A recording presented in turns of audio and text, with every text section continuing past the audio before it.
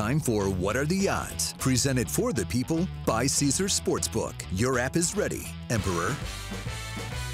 All right, JSB, the Devils have the fourth best odds to win the East at plus 700. The Rangers right behind at plus 900, which is tied for the fifth best odds.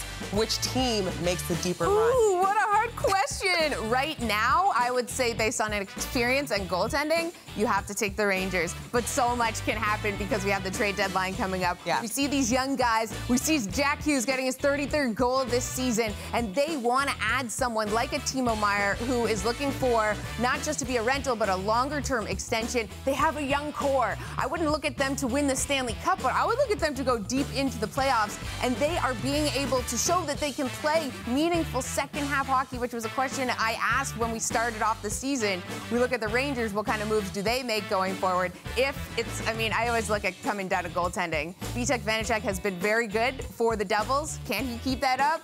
Not the same level as Igor Shesterkin, but boy, are the Devils so fun to watch. A hard question. You made that pretty easy. How Nah, I just, I just said a whole bunch of whatever. I, I still didn't answer the question. I don't think. Rangers is the answer. Right. Thanks, Julie.